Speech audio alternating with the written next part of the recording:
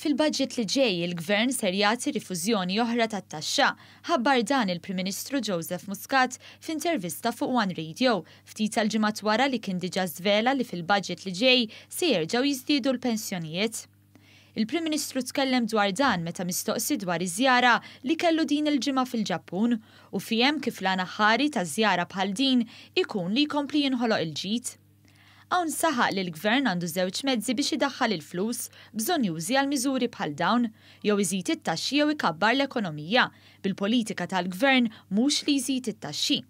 U fil-fatt nista' ngħidlek li fil-budget li ġej aħna ħa nkomplu nwettqu l-mandat elettorali tagħna kif imwiegħed lill-poplu illi ħa nerġgħu nnaqqsu t-taxxi billi nagħtu t-tieni installment tar-refund tat-taxxa.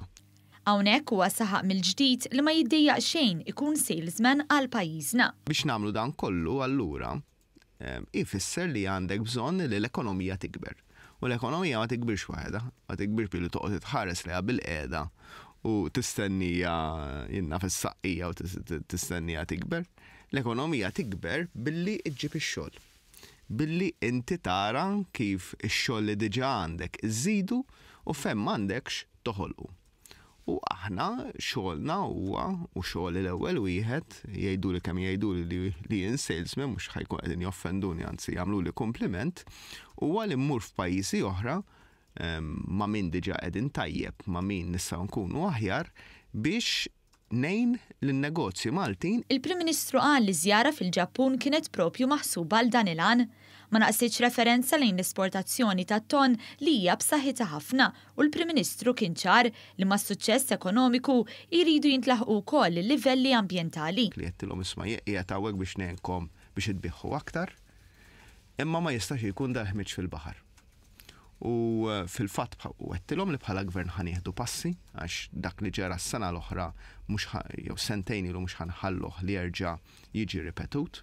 Joseph Muscat irreaġixxa wkoll għall-istatistika pożittiva dwar it-tnaqqis fil-faqar u sostna li l-ġid mhux biżżejjed li toħolqu imma trid ukoll tqassmu għand kulħadd.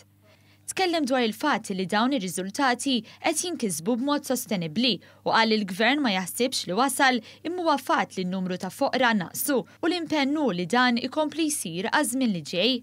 Jekk erba' snin ilu kien hemm minn kull tliet persuni li ma kinux jaffordjaw li jixtru l-affarijiet bażiċi bid-dħul tagħhom, Illum dawn it-tliet persuni naqsu għal wieħed. Wieħed minn kull tlieta biss għadu f'dik is-sitwazzjoni. Salvajna żewġ persuni minn kull tlieta minn dak ix-xifer. Jissek għandek xifer ta' rdum u rnexxielna jekk kien hemm tliet persuni b'da x-xifer, tnejn ġbidniehom 'il ġewwa. Issa xogħolna huwa li ma jiżdidux iktar u li dik il-persuna li fadal niġbduha 'l ġewwa wkoll. Ma naqasx milli jitkellem dwar il-prezzijiet tal-fjuwil li dwarhom fisser il-ħidma tal-Gvern f'dan il-qasam miġbura f'kelma waħda, stabbilità. Temm jgħid li bil-politika ta' stabbilità, il-konsumatur Malti xorta qed iħallas disa' ċenteżmi inqas għall-petrol u ħdax-il ċenteżmu u nofs inqas għad-diesel imqabbel mal-medja Ewropea biex b'hekk minn kull għaxar Ewropej, aħna fost it-tlieta li nħallsu l-inqas għall-petrol u d-diesel.